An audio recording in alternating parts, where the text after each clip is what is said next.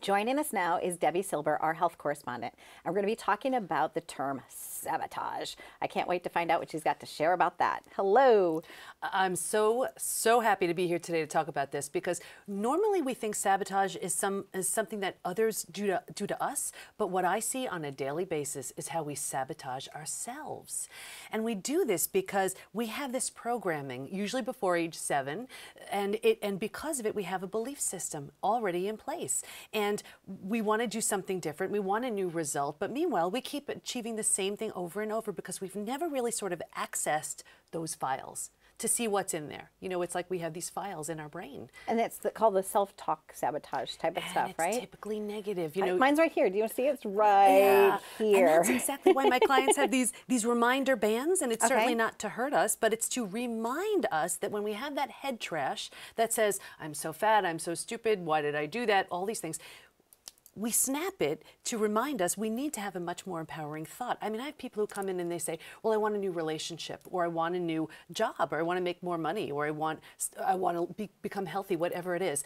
But those things will never happen unless we rewire our default, our default setting, which is set which is set for a certain level of success or achievement or abundance or love or friendship or whatever. I have some of mine. I'll be vulnerable enough to tell you what they are. One of them sometimes is um, I'm not good enough. One of them is my nose is too big and I don't like the space between my teeth.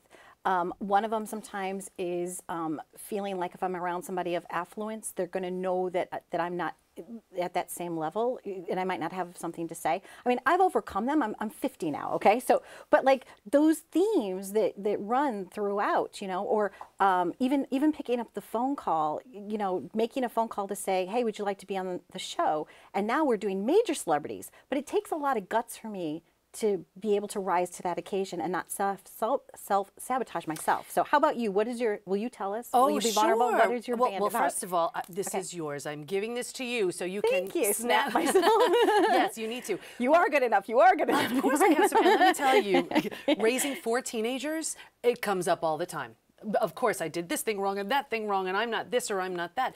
And it's it really starts from think about it when we're younger, and your parents are doing the best they can. But how often do we hear something positive as opposed to something negative? I mean, of course, they're they're trying to spare us any grief or harm or whatever, but we're hearing things like "Don't do that," or you know, "That's no good," or as opposed to "You're awesome," "You're terrific," "You're wonderful," and that takes a hit on our self-esteem and and it creates sort of that level that we stay at. But you have an amazing sense of what's stopping you right now. I have the same thing. I mean sure i'm constantly always learning always growing which all which also means i am a rookie every single day in a new field in a new in a new area. And it's it's overcoming that that that you that's what creates confidence. But it's when we meet up to that comfort zone and we say oh this is too scary. Let me retreat we stay back. When we meet up to that comfort zone and say you know what?